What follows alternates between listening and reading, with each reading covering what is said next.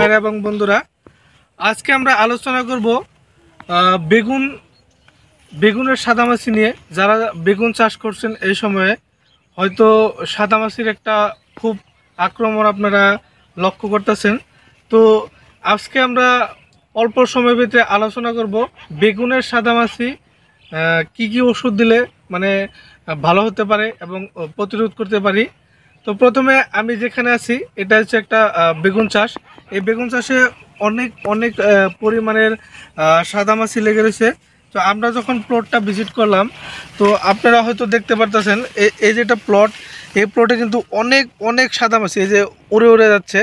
এগুলো পাতাগুলা এই যে, এ- এ দেখেন, উড়ে উড়ে যাচ্ছে সাদামাছি অনেক সাদামাছি আছে। তো এই প্লটটায় বহুত পরিমাণের সাদামাছি আমরা দেখতে পেয়েছি। তো সাদা মাছি নিয়ে হয়তো চাষি ভাইরা অনেক অনেক সময় চিন্তিত থাকেন। তো সাদা মাছি যা পাতার তলেও লক্ষ্য করতে পারেন। আহ, যেটা চাপ এই চাপটাও লক্ষ্য করতে পারেন পাতার তলেও থাকে ওটা। তো আমি আজকে বলব তিন ধরনের চাষির কথা।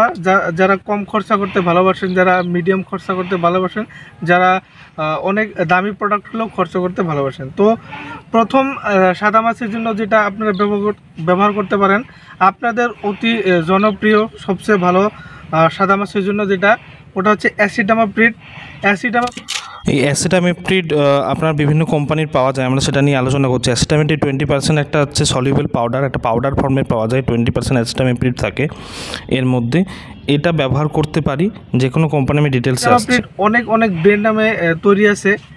তো সবচেয়ে তো সবচেয়ে ভালো ব্র্যান্ড অনেক আছে। তো আমরা এখানে অ্যাসিটামাপ্রিডের দুটো দেখতে পাচ্ছি যে চাষি চাষি ভাই দুটো ব্যবহার করেছে। এটাও অ্যাসিডামাপ্রিড এটাও অ্যাসিডামাপ্রিড এটা হচ্ছে ইক্কা আর এটা হচ্ছে সাইমা। এটা দুইটাই অ্যাসিডামাপ্রিড। তো অ্যাসিডামাপ্রিড আহ, ব্যবহার করলেও সাদামাছিকে প্রতিরোধ করা যায়। তার সাথে কিন্তু থাইম্যাথেকটা মিস করলে অনেক ভালো একটা রেজাল্ট আশা করা যায় সাদা মাছের জন্য।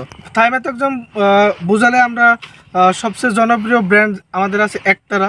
একতারাটাও আপনারা ব্যবহার করতে পারেন বা অন্য কোনো ধরনের থাইম্যাথেকজাম যে কোনো ব্র্যান্ড নামে আপনারা ব্যবহার করতে পারেন।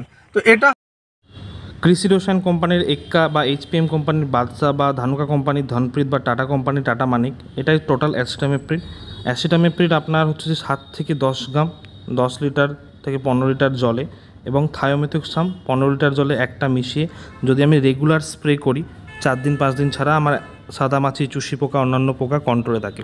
এরপর আসব আমি হাই মলিকিউল নিয়ে। কী সে হাই মলিকিউল বায়ার কোম্পানির মোভেন্টো বায়ার কোম্পানির মোভেন্টো এটার মধ্যে আছে স্পাইরো ট্রেটামিট এগারো দশমিক এক পার্সেন্ট এবং ইমিডাক্লোরোফিট যেটা দুশো এমএল প্রতি একর জমিতে মানে এক এমএল ওষুধ এক লিটার জলে মিশিয়ে ব্যবহার করতে পারেন। এটা সাদা মাছি, অন্যান্য চুষি পোকা এবং লাল মাকড়ের জন্য রেজাল্ট দেয়। এটা একটা প্রধান বায়ারের মোভেন্টো আপনারা ব্যবহার করতে পারেন।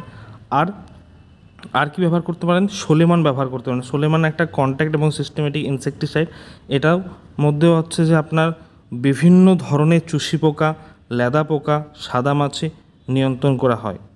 এটা সাইফ্লুথ্রিন, তার সাথে ইমিডাক্লোরোফিড আছে। এটা আমরা ব্যবহার করতে পারি। এক্ষেত্রেও এক এমএল আপনার সোলেমন এক লিটার জলে মিশিয়ে আমরা ব্যবহার করলে ভালো রেজাল্ট পাবো। এই দুটোই আপনাদেরকে সলিউশন দিলাম। প্রথমে অ্যাসিডামেপ্রিন নিয়ে বললাম, তারপর মোভেন্টো নিয়ে বললাম, তারপর সোলেমন নিয়ে বললাম। এছাড়াও বিএসএফ কোম্পানির সেফিনা আছে সে সেফিনা ওনারা ব্যবহার করতে পারেন। সেফিনা বিএসএফ কোম্পানির একটা নতুন টেকনিক্যাল ইনসেকেলিস নতুন টেকনিক্যাল যেটা আছে, সেটাও ইনসেকটিসাইড হিসাবে কাজ করে।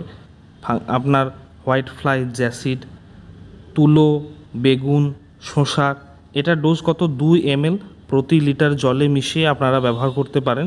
এটাও ভালো রেজাল্ট দেয় এটাও ভালো রেজাল্ট আমরা লক্ষ্য করেছি।